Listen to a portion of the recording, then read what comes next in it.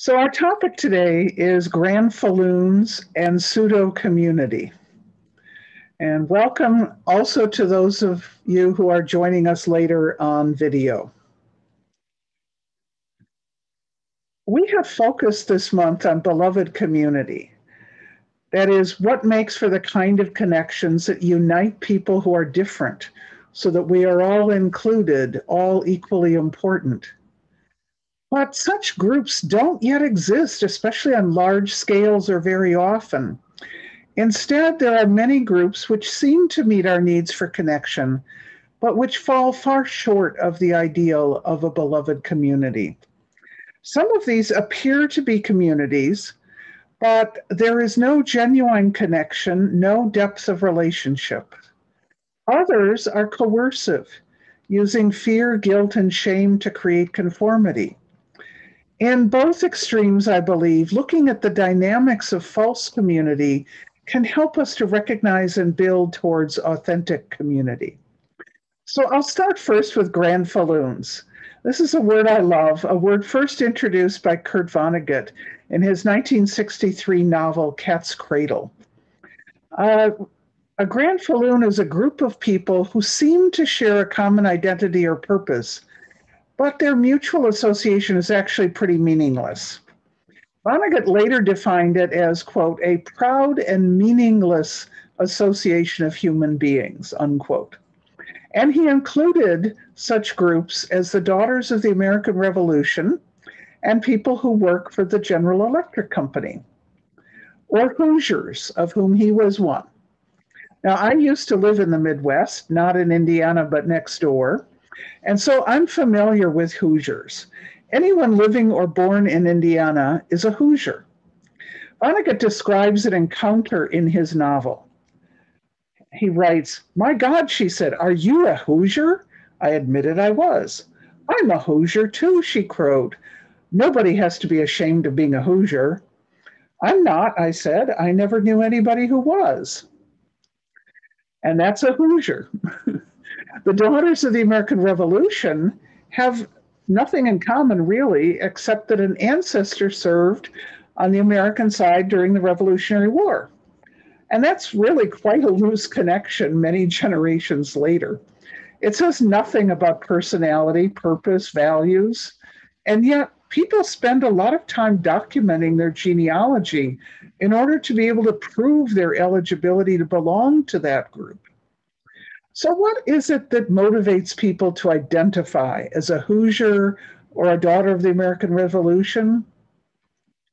I think it's our perceived need to find something in common with someone else in order to connect. Some research by social psychologists has shown how easy it is to get people to identify with their group based on even trivial criteria. Even in created situations, people then focus on and exaggerate their similarities with those within the group and they also focus on and exaggerate their differences with those outside the group. Robert Sapolsky, a neurological sciences researcher, suggests that it's built into our brains to divide the world into us and them. In a 2017 article, which you can find online under the title Why Your Brain Hates Other People, he uses an expression that others before him have also observed. There are two kinds of people in the world those who divide the world into two kinds of people and those who don't. He suggests that belonging to an in group is hardwired into us.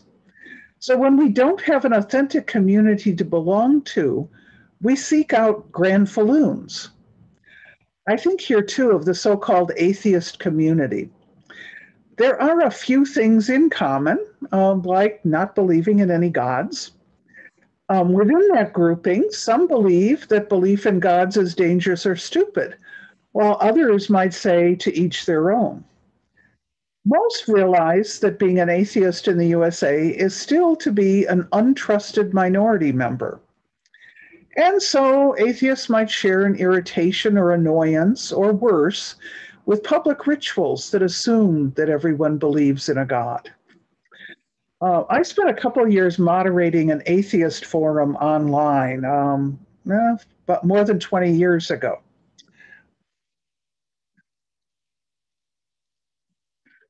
The in groupness was just really um, reinforced when enthusiastic Christians who took very seriously their commandment to evangelize people would sign into the forum to tell us about God, as if we had never thought about gods before.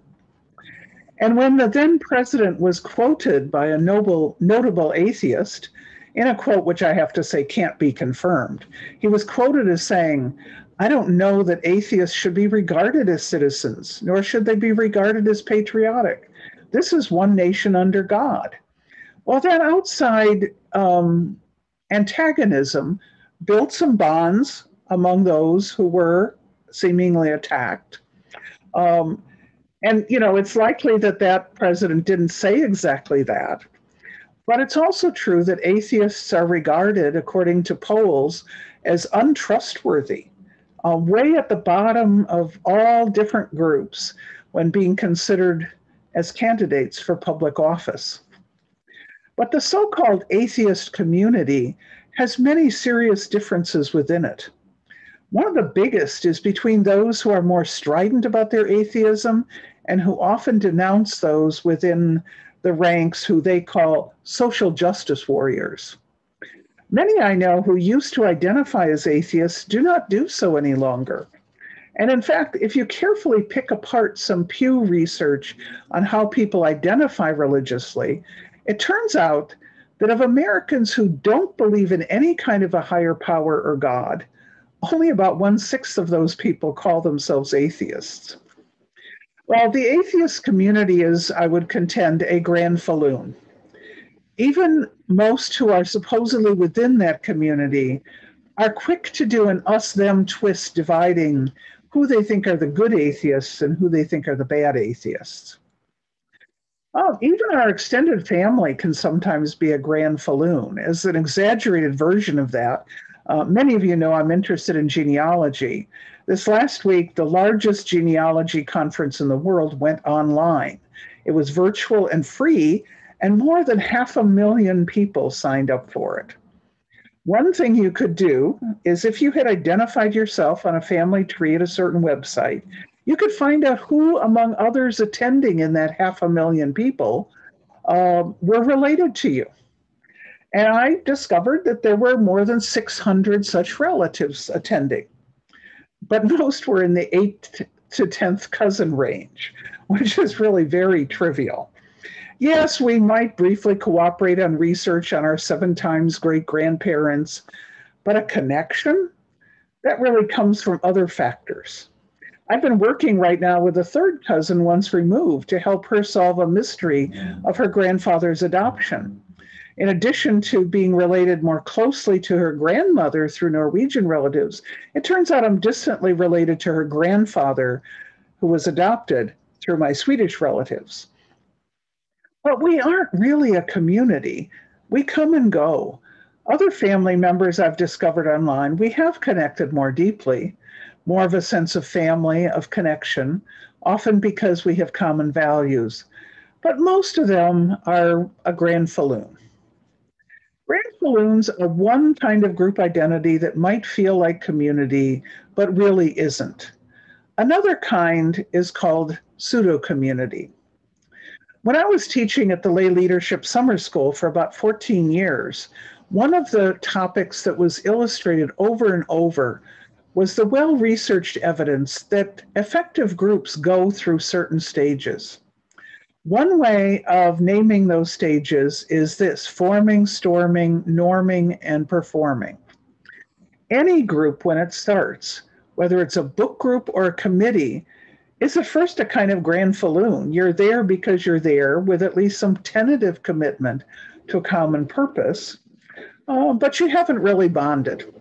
And in the forming stage, groups tend to be very polite and considerate of each other. And at the same time, people are unsure and aren't fully committed. Often at that stage, if there's a conflict in the group, people easily leave. It's just not comfortable any longer. Or the group will move to mollify that one person who's not comfortable to make them happy. I think here of a startup ethical society I knew of. Actually, this happened almost exactly the same way in two different cities with different groups of people. A small group formed, and they were very enthusiastic about becoming an ethical society.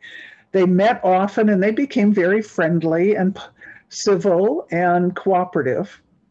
Uh, but then, in moving ahead, some decisions had to be made about the group's identity.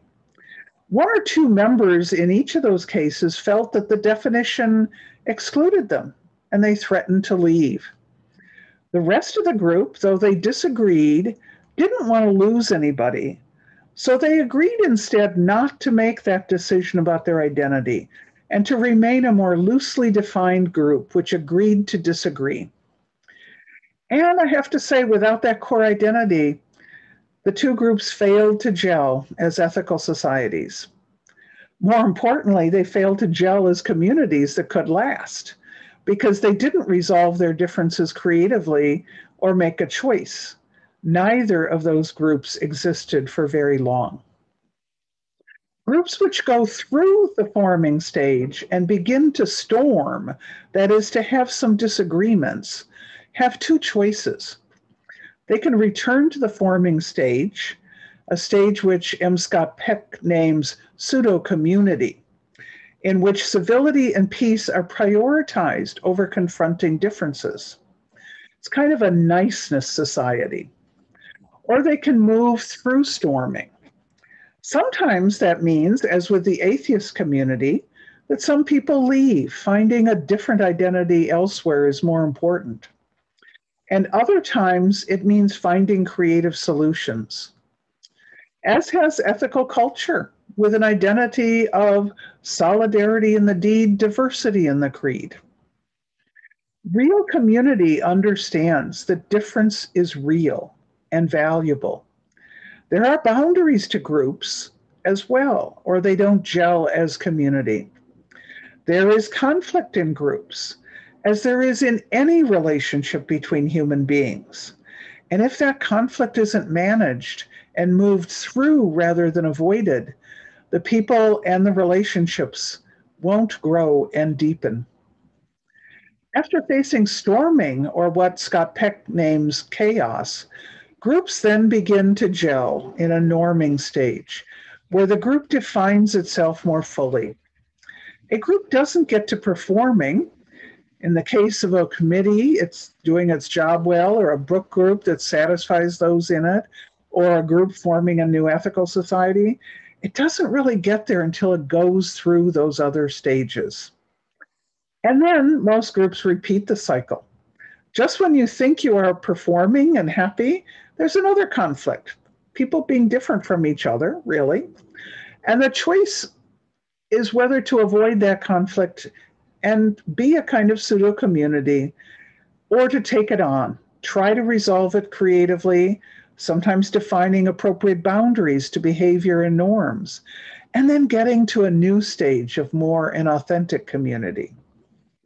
I remember years ago teaching a workshop within a group that was having some problems figuring out how to handle their conflict. I asked as an exercise that people think about how their families handled conflict. It turned out almost everyone in that room from that group that was having trouble handling conflict described one of two family patterns. Either there was a lot of conflict in their family, and their reaction was literally or figuratively to dive behind the sofa and pretend it wasn't happening. Or the second pattern, their parents smiled, denied that there was any conflict. If a child asserted some disagreement, the parents would reassure them that they really didn't think that. Families, as pseudo community, help prepare some people to have difficulty moving beyond pseudo community in their adult lives. And then, while I didn't include this kind of group in the title of this talk, there's another important kind of non community to think about, and that is the cult or the cult like group. Many years ago, while serving in a small town in a clergy role in a progressive congregation, some of the women um, in that area who had been in what I describe as cults figured out that I was someone they could talk to as they were figuring out how to separate from their cult. Uh, it was an amazing time to listen. Um, by listening, I learned a lot about how cults operate on an individual. Power and control are definitely factored. One's life is limited by the rules and authority figures in the groups. For instance, one woman talked about how she was, for the first 20 years she had been married, never allowed to cook with what she called a ready mix a cake mix, a prepared stuffing mix, anything that wasn't made from scratch. And so she spent a lot of her day preparing meals. She had an intense sense of an in group, um, with everyone not in the in group being both outside of that group and in some sense evil. So the same woman described how she had raised her children in this cult. And now that she was leaving, she was not permitted by her children to see her grandchildren. She was leaving because she had begun to recognize the control over how she behaved. And, and she had begun to recognize that she wanted more choices in her life to make herself. And yet she was considering going back because she was not sure she could bear never seeing her grandchildren again. Such groups, as many have pointed out, generally start as ways to support each other against an external threat. In her cult's case, that threat was the evil of the outside world, temptation. And being a religious cult, it promised great rewards for being part of the group, like eternal life.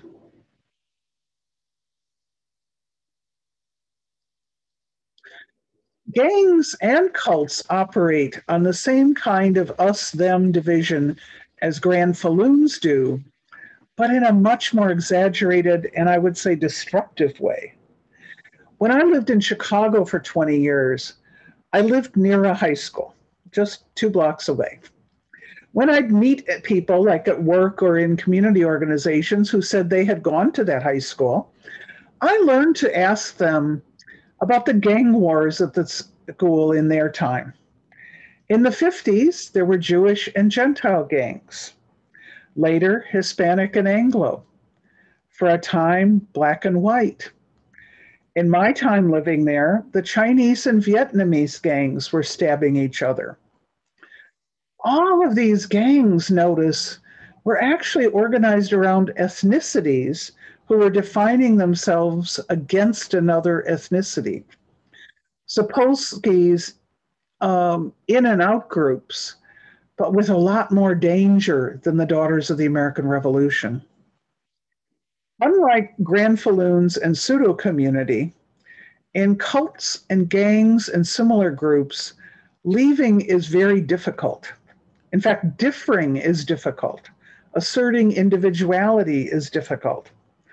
That can, for those who stay, actually magnify the sense of belonging so much that it is worth the terrible costs that accompany such obedience. Chris Hedges, in writing about cults, both religious and political, said this All cults are personality cults. All cults are really extensions of whoever the cult leader is.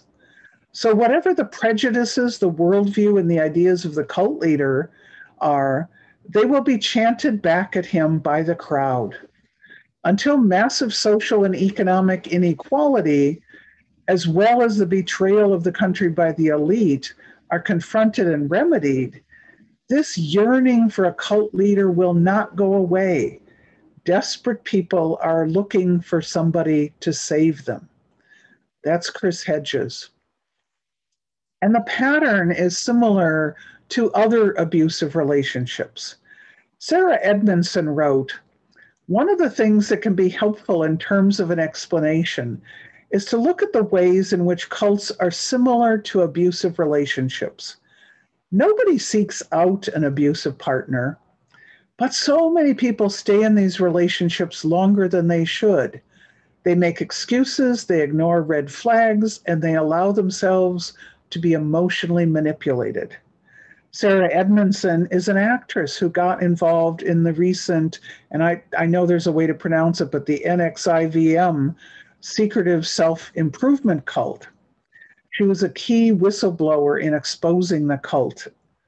If you have never been in an abusive relationship, you might think it is easy to leave.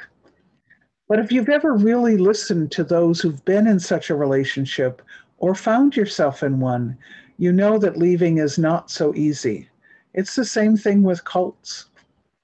Heather Marsh, author of a book called The Creation of Me, Them, and Us, called these kinds of groups endo groups.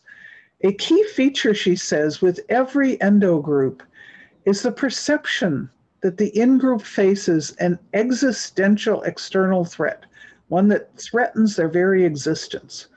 She points out that our counterbalance to these is the also human tendency towards mutuality and egalitarianism, which she says can dismantle any endogroup power structure when there isn't a perceived emergency. That is why a group like QAnon can exist and feel like a strong in group, despite most members never meeting each other. There are perceived emergencies. One of them is that Democrats eat children. But of course, you aren't introduced to that idea as a first step. Instead, legitimate fears of large organizations and of abusive state power are exaggerated and used to get someone into a state of hypervigilant fear. And then you share this set of secrets and the perception that the outside world is ri- ridiculing your beliefs builds even stronger bonds with those inside. Even that QAnon basic theory about eating children mirrors an ancient conspiracy theory used to demonize Jews and allow great violence to be done to them from medieval times through the Holocaust. I think it would be a mistake to think that any of us is immune to the appeal of these false communities given the right circumstances.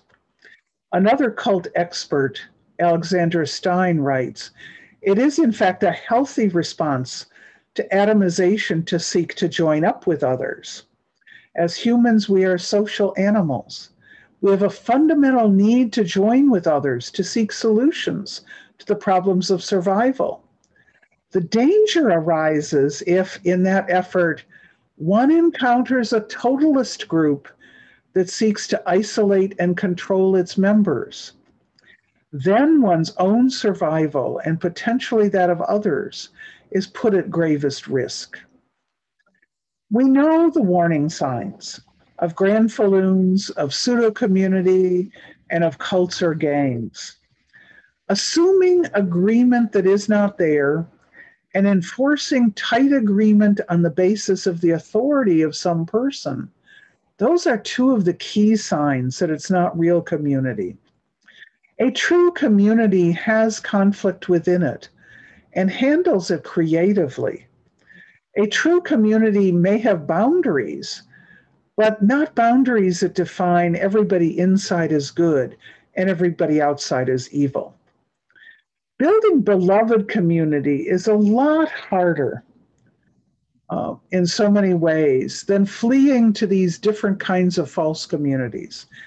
In the need to belong, it can be easier to get all the answers, to not question, to let authorities tell us what is true. And yet, those moments of real community, if we are fortunate enough to feel them, can be liberating. The women I talked to about their cult experiences they were still looking for community that could fulfill their sense of belonging while still allowing themselves to be their individual selves. Would they find it? Or, like many in abusive relationships, would they settle for another abusive relationship? Bessel van der Kolk, who writes about trauma, also talks about how people who have experienced trauma may seek the affirmation they find in such groups, and points out that people then turn out not to find what they need there. He writes gangs, extremist political parties, and religious cults may provide solace, but they rarely foster the mental flexibility needed to be fully open to what life has to offer. And as such, they cannot liberate their members from their traumas. Well functioning people are able to accept individual differences and acknowledge the humanity of others. So, the bottom line for me is that latter accepting individual differences and acknowledging the humanity of others. Beloved community is where we are each recognized as individuals, where the common humanity of others is recognized not just within the boundaries of our group. Those who cannot, it's also true that in beloved community, the boundary on community is defined by those who can practice that. Those who cannot see others as individuals, but only as objects who are good or evil.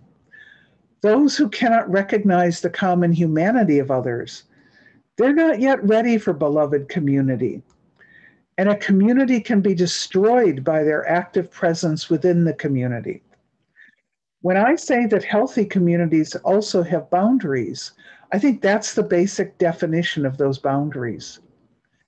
A community might have some other sense of purpose or uniting characteristic beyond just being a community of difference.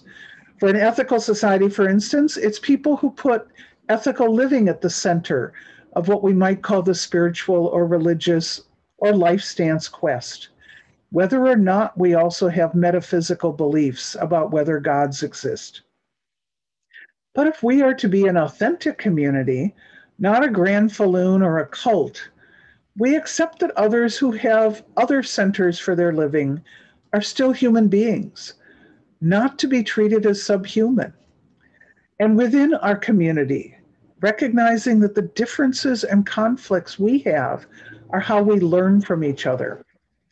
It's why we practice the art of listening for understanding, not for agreement reminding ourselves that it's not just what we hold in common that makes us community.